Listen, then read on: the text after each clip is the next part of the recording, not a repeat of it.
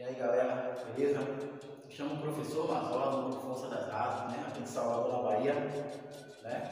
Hoje vou estar passando para vocês para completar o anterior, né?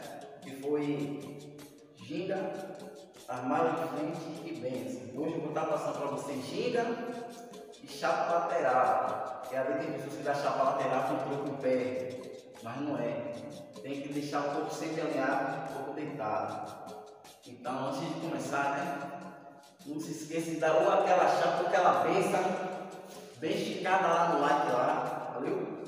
E não se esqueça de se inscrever, né? Deixa no comentário aí qual tutorial que vocês querem, né? Que eu possa passar. Que a depender de cada país que o pessoal passa, ali não é diferente, porque aqui nós estamos na, no berço da capoeira, em Salvador, na Bahia. Eu moro aqui perto, onde tudo começou, né? Então vamos para o nosso tutorial. Ou perna direita atrás ou esquerda atrás, né? A depender. Então gingou, ó. Gingou para trás. Tem gente que às vezes usa na frente, mas geralmente a gente usa aí atrás. Ó, o parou, ó, e volta. Ó, e volta. O corpo tem que estar deitado, alinhado, tá vendo? Tem gente que dá chave sem corpo em pé. Tá errado. Ó, Pega, ó. E volta. Esquerda da agora.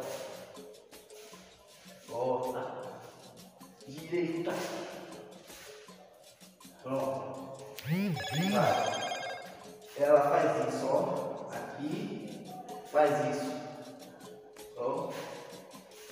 E volta. Ó. Vindo aqui e lança.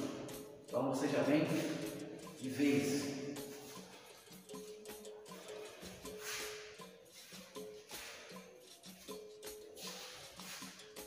Né? E aí gira. Né? Ó, pam, para trás e pam. Beleza? Então, espero que a galera tenha gostado. Né? Deixe nos comentários qual o próximo.